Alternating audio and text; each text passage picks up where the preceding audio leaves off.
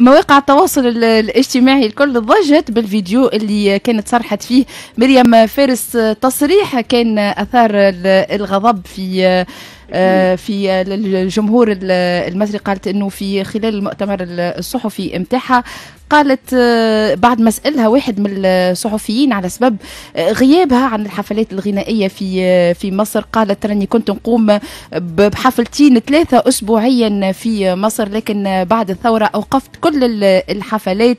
في الوقت هذا كبرت ووليت متطلباتي أكثر وبصراحة وليت تقيل على مصر وهذا التصريح التصريح اللي غشش برشا الجماهير المصرية. و bien sûr التطورات باش تحكي لنا عليهم توا سند. هذا كان آمس في ال conférence de presse نتاع مريم اللي عملوا ضجة كبيرة حتى في ال conférence خاطر فما زملاء من مصر كانوا حاضرين وما عجبتهمش الكلمة. حتى طرف قال إحنا déjà قالوا له حتى توجه قالوا إحنا جبنا أكبر الفنانين مش نحيروا في آه، مريم كمان هي بعد هذا الاعتذار قالت راهو أنا ما نقصدش الكلام اللي فهمتوه. يمكن كانت مشكلة في اللغة فهمتوني بالغلط أما أنا نحب مصر ونجي لمصر في أي وقت. هي قالت حكيت لغة ما est-ce que صحيح والأقرب مش صحيح. آه خاطر واضح المعنى. واضح أي. ما تنجمش تتأولوا برشا أي. voilà باش تنقذ الموقف آه، عملت فيديو آمس آه، عملت فيه اعتذار وأنا ما نقصدش.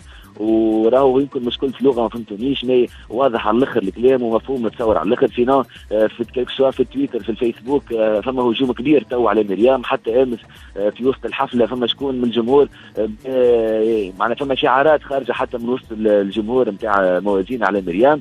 sinon كان في بالي زاد محامي محمد صبري عمل قضية مستعجلة باش يمنعوا مريم باش ما تدخلش لمصر. زاد هما فرحين هكاك. مش هما والله علاش واحد عملوا الفيري أي يجريوا باش يعملوا حاجات كيف هكا هما على لهنا ممكن حتى على فنانينهم هما شيرين ولا أصالة ولا ديما فيسع فيسع. أي كلمة يعملوا عليها قضية. قضية فوالا. كانوا نجموا لو فات انه يقاطعوها تولي ما عادش تجي واحد تفهم روحها يزي voilà. donc تم رفع قضية وفاء اليوم مستعجلة وباش يمنعوا مريم فارس من دخول مصر.